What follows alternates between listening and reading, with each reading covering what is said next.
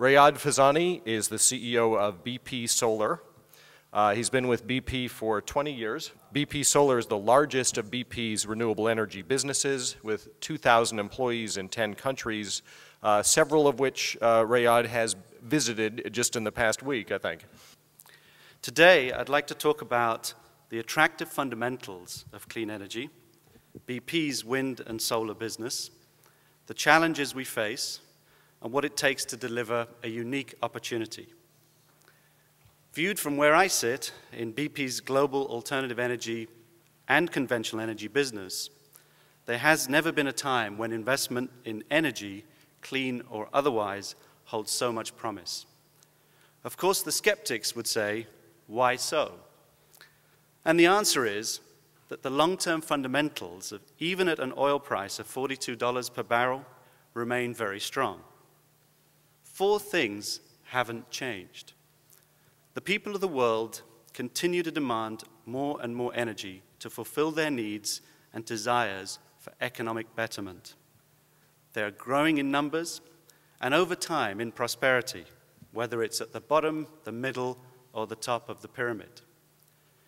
Consumers want energy delivered safely, reliably, economically, and with no damage to the environment. Environment in the broadest sense not just greenhouse gas emissions and climate change impacts. And thirdly, energy consumers demand choice and a diverse mix to match their specific need. And finally, the fact remains that the energy investment cycle is measured over a run of years, not quarters, because it involves long-run drivers such as infrastructure, technology development, building plant and machinery, and developing people capability. Investment in clean energy has reached the point where it can no longer regress. Clean energy is a business and is no longer just a venture or an, or an adventure. In fact, it is poised for a new wave of growth with bigger upside than in the past.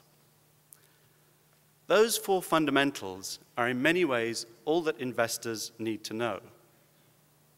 Focus will be to re-establish confidence in energy investing and let's face it, make money through this new upside opportunity. Of course, in the short term, the period of economic distress we're experiencing today is a natural and necessary development in the evolution of clean energy. It will help us shake out the weak and ineffective business models, the idealistic notions that don't deliver long-run economic value, the defunct products that have been developed, and the poorly capitalized and managed corporations.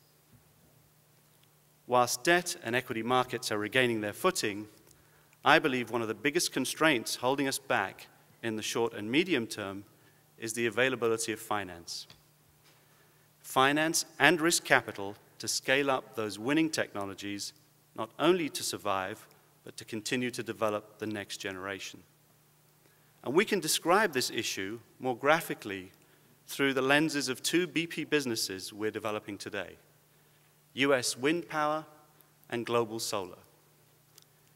Starting with wind, the wind market is doubling every two years, albeit from a small base. In 2008, BP has an operating business producing 1,200 megawatts, which was created in three years.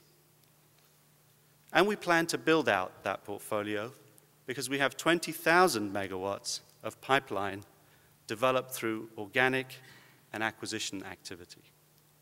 So why is BP doing this? Why invest in wind energy? Because wind energy and the generation of wind supported by government incentives is competitive with conventional energies. And wind can achieve this without a level carbon playing field. Today, the price of carbon is forecast to double to 35 euros a ton by 2012. And technology continues to drive down costs further.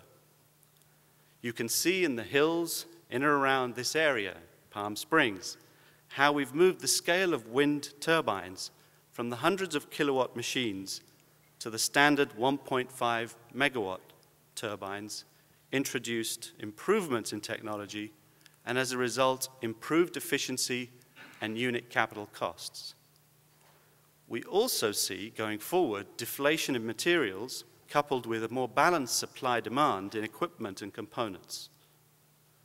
The combination of policy support, a market for carbon, technology advances that drive down costs will create upside for wind. What we now need to do to achieve these are two further actions. The first, the financing means to scale up, and that means the return of project financiers and equity investors to share the significant scale-up investment. Secondly, policy stability and flexibility, extending the support for longer time frames than just one year at a time, and allowing the production tax credit to become refundable, easing the burden for tax equity investors at a time when corporations are making less taxable profits. So turning to solar. The solar industry has been seeing dramatic growth with a range of 20 to 70% compound annual growth rate over the last 20 years. BP has invested for 30 years and has been riding the technology waves.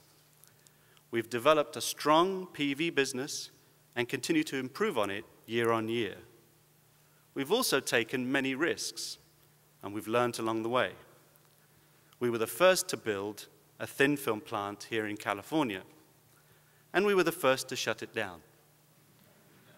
And we were an early entrant to the Indian market, where we've been operating for over 20 years profitably.